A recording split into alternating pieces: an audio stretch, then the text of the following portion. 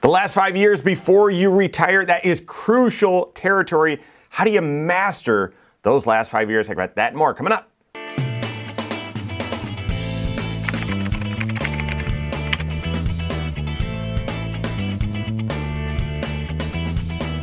My name is Mike Bernard, I'm the host of the Wise Money Show. I'm also one of the certified financial planners right here at Korhorn Financial Group. Make sure you hit that subscribe button, turn on notifications, and smash that thumbs up button. The last five years before you retire is typically make or break. I, am not I'm not overdoing it. I, obviously, in order to retire, this is the financial goal that takes the longest amount of time for you to save up for and prepare for. But those last five years is really when you're putting the finishing touches and it, it helps you get over the hump with confidence or if you take your eye off the ball, lose focus, it can actually cost you thousands of dollars, if not even some of your retirement, right? It could delay your retirement. So, in those last five years, this retirement red zone, what are the things that you need to do to master those last five years and put yourself on the right path to succeed in retirement. First, you need to get into a habit in those last five years of updating your financial plan, your retirement projection, your retirement plan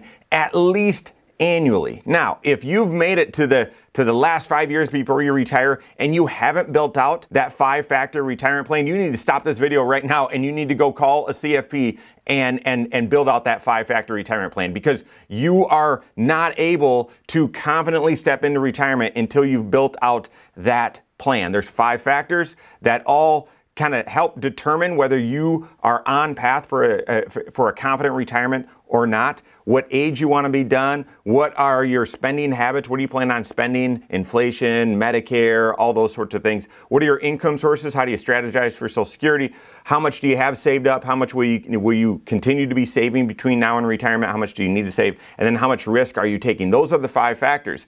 They're all interrelated. You can't make a decision in one without it impacting the other. You should start building out that five factor retirement plan in your 40s or, or certainly early on in your career, midpoint of your career. So by the time you get five years out or within the five years of retirement, you should already have that built. And really, then it should be established in an annual habit of updating each of those variables, each of those five factors to then determine am I still on track? Am I still on track? Am I still on track? In doing so, when you're within five years of retirement, you have a better sense of saying, okay, but wait a second, what would it look like if we spent a little bit more? What would it look like if we delayed Social Security? What would it look like? And so some of those trade offs, some of those what ifs, you can recalibrate to better shape your expectations of what retirement's really going to look like.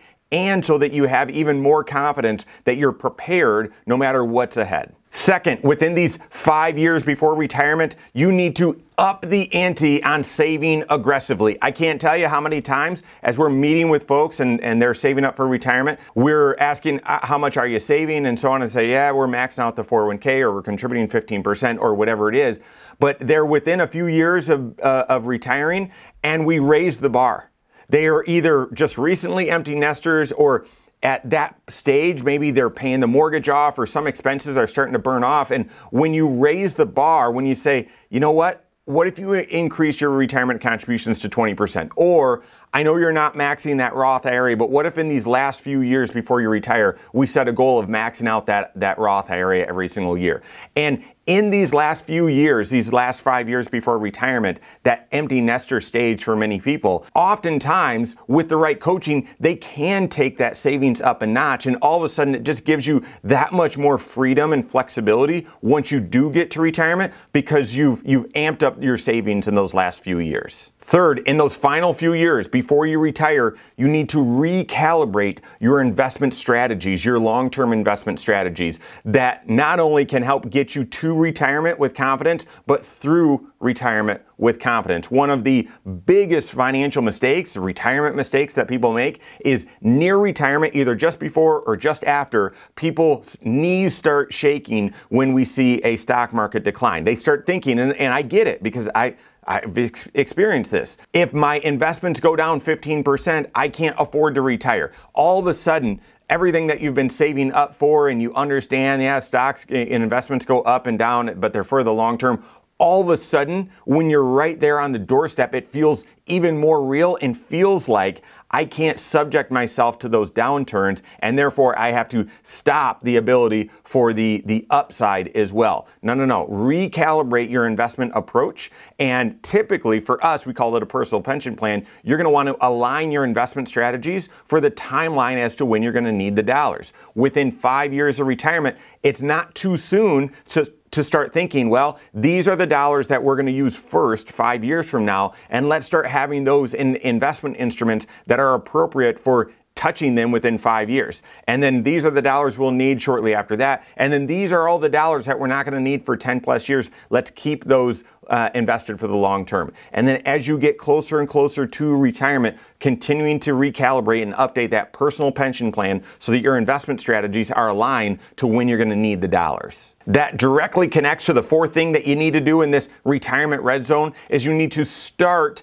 planning to optimize Social Security. What is your income strategy? You don't need to define it and set it in stone five years before re- retirement, but in working with your CFP, who's built out that five factor retirement plan, who's looking at your entire comprehensive financial life, they're going to help look and, and or help you structure here's where it looks like income's going to be coming from, and that's going to feed into that investment allocation that I just mentioned and feed into all right, what's the plan with Social Security? So you're not setting it in stone, you're not making a decision, and, and we're not wavering off of this, but you're building out those initial assumptions, that initial strategy for where income's going to come from, how you're going to optimize Social Security, and that will feed into your investment allocation. Next, within five years of retirement, you're going to want to start learning about Medicare. Yes, you can't sign up for Medicare until you turn age 65. And if you plan to retire at 62, then you might have uh, some, you know, some, some more years left, some more time left. You might be retiring at 66, and therefore, as soon as you retire, you'll be going on to Medicare. Either way, within five years of retirement, you need to start having those conversations so that you can start planning ahead. Well, what's my big, what's the big decision? Most people think, well, Medicare is one thing. No, it's multiple things. One word can mean very different things. You have traditional Medicare, Part A, B, D, and a supplement, or you're going to go Medicare Part C, Medicare Advantage. Those have very different cost structures, both in the monthly premium, but also in the copay and the deductibles. And therefore, it's a very, very big decision. Within five years of retirement, you want to start getting the understanding of what those choices are and which one might make the most sense for you so that within a year of retirement, you're not starting your education at that point and trying to figure out and then potentially making a rush decision.